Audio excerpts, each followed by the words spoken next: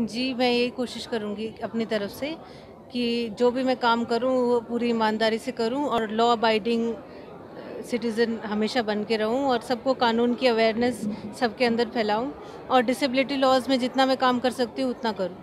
अभी हमने नोटिस किया है स्पेशली दिल्ली जुडिशरी में, हर साल ही वैकेंसी निकलती है नॉर्मली बट कोविड टाइम में बस दो साल का गैप आया। बाकी स्टेट्स के मुकाबले दिल्ली जुडिशरी में बहुत अच्छी वैकेंसी निकलती है एमपी में निकलती है, और यहाँ छत्तीसगढ़ में भी अच्छी खासी वैकेंसीज निकलती हैं।